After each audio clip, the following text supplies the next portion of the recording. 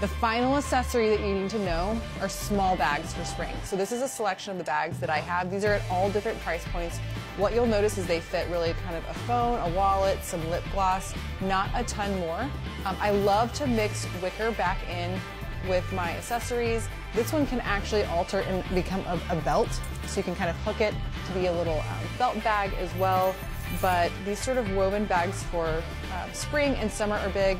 And then of course, this is kind of like the bag of LTK right now. So it's a designer inspired bag that you can monogram.